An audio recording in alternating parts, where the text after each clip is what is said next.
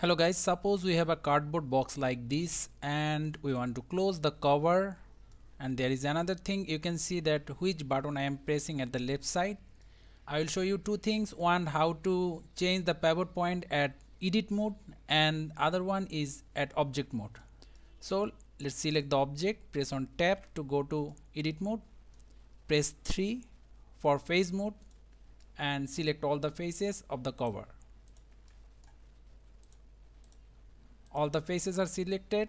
So now we want to close it from here. But our pivot point at the wrong location. So if we try to rotate it's not happening. So what's our option? Press 2 and go to edge mode. And select the edge where you want to rotate.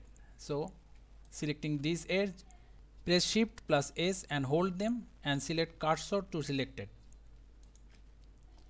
Now there is another step press dot and select 3D cursor. Now select all the faces, press 3 again and select all the faces. Now it's properly closing. There is one thing you need to look after when we are rotating the things. Suppose we selecting this face. So select the edge, shift plus S, cursor to selected as we are already in 3D cursor mode so we do not need to change it. But as you can see that our orientation rotational orientation is changed because it's in global mode. If we want to rotate it normally so select the normal orientation. Now it will rotate normally. So that's another tips. Now let's go to object mode.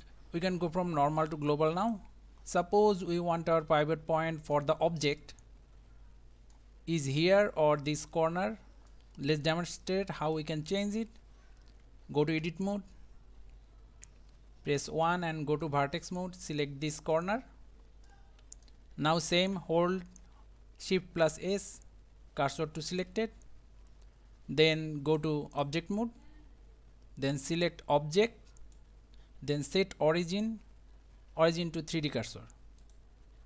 Now both of our origin and the pivot point or for the full object is changed to this corner. After you are done again press the dot button and go back to median points. So thank you guys see you on the next tutorial.